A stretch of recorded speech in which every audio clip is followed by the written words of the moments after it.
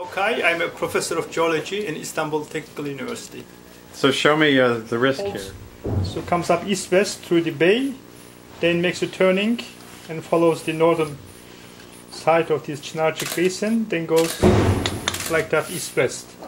So we know the earthquake will occur on these faults, and we don't know when.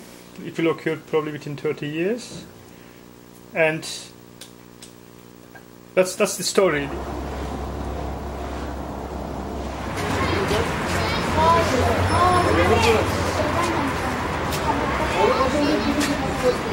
I will say one of the first uh, that may go down. Uh, What are the features that give you that confidence? well, uh, the, the structural elements. Look at the columns. They don't look It's a- very robust. They, no, not only that. Uh, it's also you have a huge mass up there, and Yeah. then uh, this is what we call soft floor. Okay, I mean, this shouldn't happen.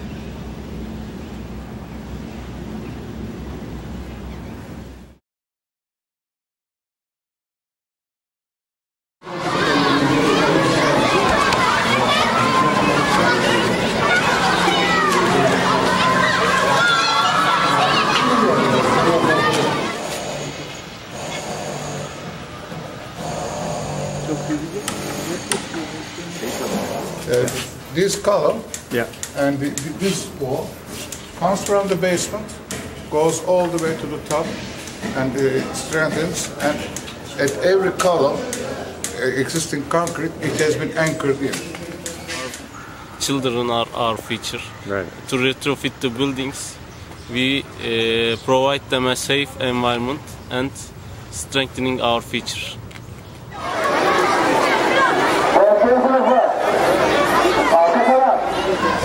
As far as I know, it's uh, prepared to the most, according to the most dangerous earthquake, and hopefully nothing will happen after the earthquake. We will be here. It's an interesting situation living in an area where this is just part of life. Yes, There are parts of the United States that are the same, have the same problem. yes, But you don't think about it every day. yes. But uh, we have a saying: we have to learn how to live with earthquakes. That became like a common saying after the uh, devastating earthquake, which happened in 1999 in the uh, Marmara district.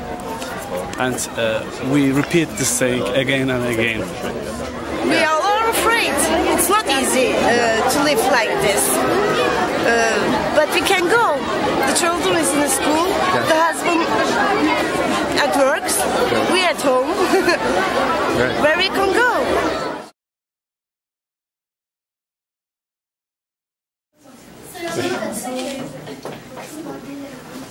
Nasıl yaptıklarını bir yapalım mı? Mesela şimdi deprem oldu.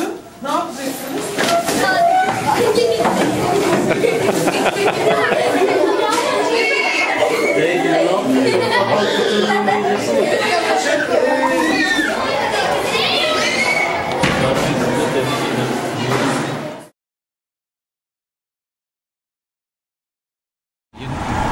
You see the city. It's a huge city, and uh, there are so many areas like this that needs to be uh, handled. Let's say.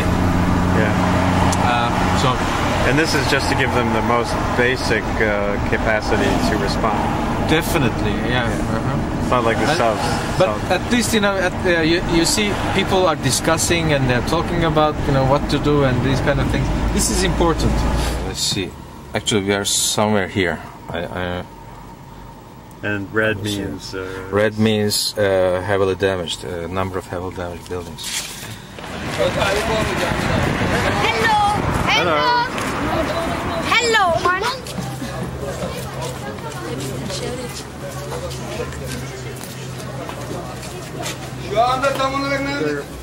There's nothing fancy. There, there's Yeah, yeah, nothing yeah. sophisticated. Nothing uh, you know, uh, uh, which requires heavy training. This is very simple uh, equipment, uh, easy to maintain. Uh, they don't have to spend much money about it.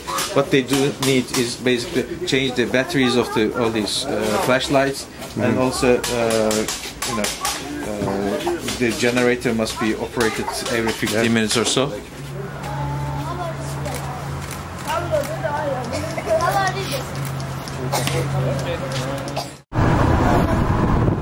not as bad as it was in the 1990s, but still uh, people think that this is fate. This is this happened because Allah wanted uh, this happen or punished us or something like that. Training uh, 50 people in a neighborhood and giving them all these overalls and you know clothing and other things, equipment. That's the easier part. The harder part is to keep them active and uh, to keep them disseminating this uh, whatever they learned to the uh, to the uh, to the neighbors.